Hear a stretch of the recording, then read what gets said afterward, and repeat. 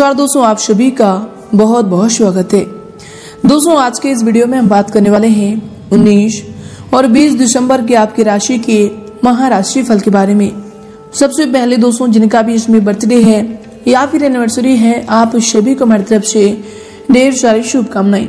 आप दिन दुगनी, रात चौगनी तरीके करें। तो आए दोस्तों से साथ बात करते हैं यश में। ग्रहों की स्थिति कैसी होंगी? क्या क्या योग बनेंगे? और इन सभी का असर आपकी राशि पर क्या होगा? किन किन चीज़ों को लेकर ऐसे में आपको सावधान रहना होगा? और आखिर कौन कौन से कार्य आपके लिए भाग्यशाली होंगे? दोस्तों यश में आपका लव लाइफ कैसा रहेगा, स्वास्थ्य कैसा रहेगा क्रेडिट कैसा रहेगा। दोस्तों, इन दो दिनों में आपका पारिवारिक जीवन कैसा रहेगा। आर्थिक स्थिति और धन को लेकर स्थितियाँ कैसे व्यतीत होंगे? इन सभी की महत्वपूर्ण जानकारी देंगे। तो दोस्तों, वीडियो को बिल्कुल मिस ना करें और शुरू से लेकर अंत तक ज़रूर देखें। दोस्तों, वीडियो के अंत में बहुत ही अच्छे उपाय हैं। जिन्हें आप करके इन को और भी ज़्यादा लाभकारी बना पाएँगे। उससे पहले दोस्तों, यदि आप चैनल पर नए हैं तो दोस्तों निवेदन है, चैनल को भी सब्सक्राइब कर लें, साथ ही बेल आइकन को प्रेस करके ऑल पर सिलेक्ट कर दें। तो आइए दोस्तों, बात करते हैं, जान लेते हैं पहले ग्रहों की स्थिति के बारे में। सबसे पहले दोस्तों 19 दिसंबर की बात करें तो दोस्तों, इस दिन रविवार का दिन होगा। शुक्ल पक्ष की पूर्णिमा तिथि रहेगी और दोस्तों मृक्षुषा नाम का इस दिन नक्षत्र रहेगा। वही दोस्तों, इसके उपरांत इस दिन योग की बात करें तो दोस्तों दिन शुभ नाम का शुभ योग और शुक्ल नाम का भी शुभ योग रहने वाले हैं। राहु कल के समय की बात करें तो दोस्तों इस दिन यह समय रहेगा। शाम के चार बजकर इक्कीस मिनट से लेकर शाम के पाँच बजकर इकतालीस मिनट तक। दोस्तों, ध्यान रहे, आप यह राहु कल के समय में कोई भी शुभ और महत्वपूर्ण कार्य को भूल से भी ना करें। और दोस्तों, चंद्रमा दिन मिथुन राशि पर संचार करेंगे। इसके उपरांत दोस्तों, अगले दिन यानी 20 दिसंबर की बात करें तो सोमवार का दिन होगा, भगवान भोलेनाथ का दिन होगा। बहुत ही अच्छे दिन है और कृष्ण पक्ष की प्रतिपदा तिथि प्रारंभ हो जाएगी। और दोस्तों, इस दिन आदरा नाम का नक्षत्र रहेगा।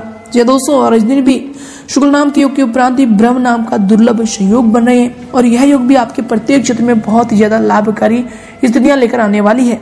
दोस्तों इन दिन राहु कल का जो समय होगा, वह सुबह के आठ बजकर छब्बीस मिनट से लेकर सुबह के नौ बजकर पैंतालीस मिनट रहेगा। और दोस्तों, चंद्रमा भी इस दिन मिथुन राशि में संचार करेंगे। यानी कि दोस्तों, चंद्रमा दोनों ही मिथुन राशि में संचार करने वाले हैं। तो आए दोस्तों से साथ बात करते हैं। इन दोनों की जो ग्रहों की स्थिति है और चंद्रमा का जो गोचर है, आपकी राशि पर क्या क्या प्रभाव लेकर आती है? चलिए दोस्तों बात करते हैं पूरे विस्तार से। तो दोस्तों, यह समय समय के अनुसार सहयोग प्राप्त होगा। संतान पक्ष को लेकर स्थिति सामान्य रहने वाली है। नौकरी पेशा जातक अपनी नौकरी में परिवर्तन के बारे में विचार कर सकते हैं, जो आगे चलकर आपके लिए फ़ायदे का सौदा साबित होगा। आपको करियर में इच्छा अनुसार फलों की यश में प्राप्ति होगी। वही दोस्तों यश में अगर आपकी नेगेटिव को लेकर बात करें तो आपके माता पिता से संबंध में कड़वाहट आने की आशंका है। संभव है कि किसी बात को लेकर घर परिवार के बड़ों के साथ जो है आपका विवाद हो सकता है। ऐसे में यश में खुद को जितना मुमकिन हो सके शांत रखें। अन्यथा आपको मानसिक तनाव के साथ साथ आपकी जो है छवि को यश में नुकसान पहुँच सकता है। दोस्तों, इन दिनों में ये जो आपके लिए समय है, आपके लिए काम के प्रति पूर्ण रूप से गंभीरता और समर्पण दिखाने का समय होगा। यश में आप कोई भी कार्यशैली की गहनता से जाँच कर सकते हैं। आपके लिए काम टालने की प्रवृत्ति यश में आपको अपमान का कारण बना सकता है। इसलिए दोस्तों, ये जो समय है, किसी भी तरह की लापरवाही या फिर आलस अपने ऊपर न आने दें। ये आपके लिए नुकसानदायक हो सकता है। किसी अप्रत्याशित लाभ होने के यश में योग भी बन रहे हैं। हालाँकि दोस्तों, आप यश में अपना मेहनत और कोशिश जारी रखें। वही दोस्तों, इन दिनों में अगर आपकी करियर को लेकर बात करें तो व्यवसाय में ये जो समय है, मंदी की स्थिति रह सकती है। जॉब में सावधानी से आपको काम करने की आवश्यकता होगी। दोस्तों यश में ये जो दिन है व्यवसाय, नौकरी और शिक्षा में तरक्की व धन लाभ के योग हैं। इनसे आपको धन लाभ मिल सकता है।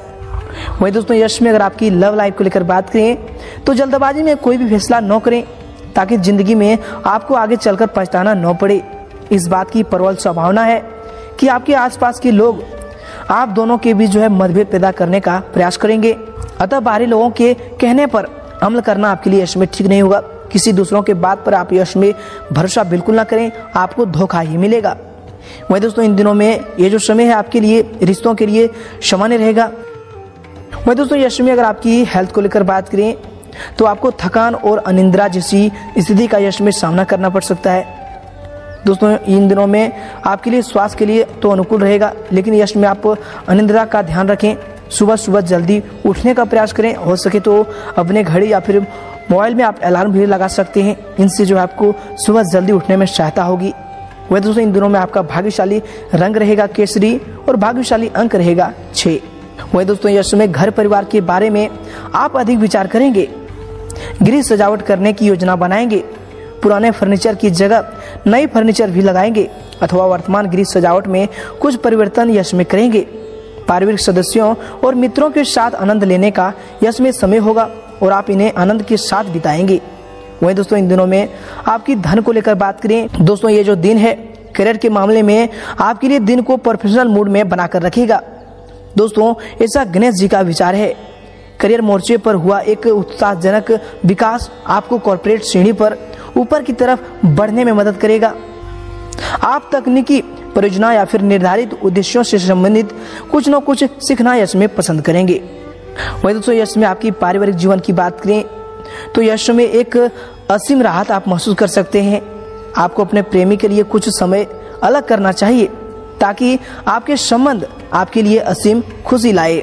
वही दोस्तों यश में एसएमएस या फिर फ़ोन पर बातचीत द्वारा आप अपने परिजन को संपर्क में रखेंगे, ऐसा गणेश जी कहते हैं। वही दोस्तों यश में आपकी आर्थिक स्थिति की बात करें तो ये जो समय है, अपनी ऊर्जा को सकारात्मक रूप से आपको लगाना चाहिए।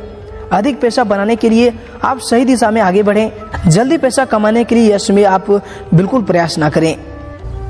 वही दोस्तों, ये जो समय है, उत्साह से भरे होने की वजह से आप अपने कामकाज की जो है रणनीति तैयार कर पाने में सहायक होंगे। दोस्तों, यश में योजनाओं का क्रियान्वयन करें। एकाग्रता के साथ आपका जो है आत्मविश्वास इसमें बढ़ जाएगा। आप जो है पूर्व निर्धारित समय सीमाओं के भीतर अपने काम को पूरा करने में भी सक्षम होंगे। वही दोस्तों, यश में आपका आकर्षक वर्ताव दूसरों को ध्यान आपकी तरफ़ आकर्षित करेगा। दोस्तों, यश में दिन निवेश करने से आपको बचना चाहिए। दोस्तों, रिश्तेदारों के साथ मौज मस्ती करें। दोस्तों, ये जो समय है, आप जीवन में सच्चे प्रेमी की कमी का अनुभव करेंगे। दोस्तों, ज़्यादा चिंता न करें, हर चीज़ समय के साथ बदलती है। और इसीलिए आपकी रोमांटिक ज़िंदगी भी बहुत जल्द बदलने वाला है। दोस्तों, आने वाले समय में, दफ्तर में आपका जो काम है, कई तरीके से असर दिखाएगा। अगर आप यश में खरीदारी करने निकलते हैं तो कोई अच्छी पोशाक ले सकते हैं। वैवाहिक जीवन में कठिन दौर से गुजरने के बाद आपको अब कुछ राहत यश में मिलने का एहसास होगा। दोस्तों, यश में आप अपने इष्ट देव को पीले पुष्प चढ़ाएँ। इससे दोस्तों, आपके जो आर्थिक स्थिति है, यश में जो गड़बड़ चल रही है, या फिर पहले कुछ गड़बड़ चल रही थी तो दोस्तों, इनसे और भी अधिक आपकी आर्थिक स्थिति सुधरेगी और भी आप अपने आर्थिक स्थिति को बेहतर बना पाएँगे। दोस्तों, यदि आपकी कुंडली में चंद्र दोष है तो यश में आपको कौन से उपाय को करना चाहिए? दोस्तों, यश में आपको सोमवार के दिन भगवान चंद्र का दिन होता है तो दोस्तों, यश में आप इस दिन खीर बनाएँ और खुद भी खाकर दूसरों को भी खिलाएँ। ऐसे करने से दोस्तों, चंद्रमा का नीच प्रभाव आप पर कम होगा और चंद्र आपका मज़बूत होगा। और दोस्तों, इस दिन आप सफ़ेद कपड़े भी पहने, ये आपके लिए बेहतर होंगे और काफ़ी हद तक आप चंद्र चंद्र के प्रभाव से इनसे आप बच पाएँगे। तो दोस्तों, इन उपायों को ज़रूर करें, ये आपके लिए लाभकारी साबित होंगे।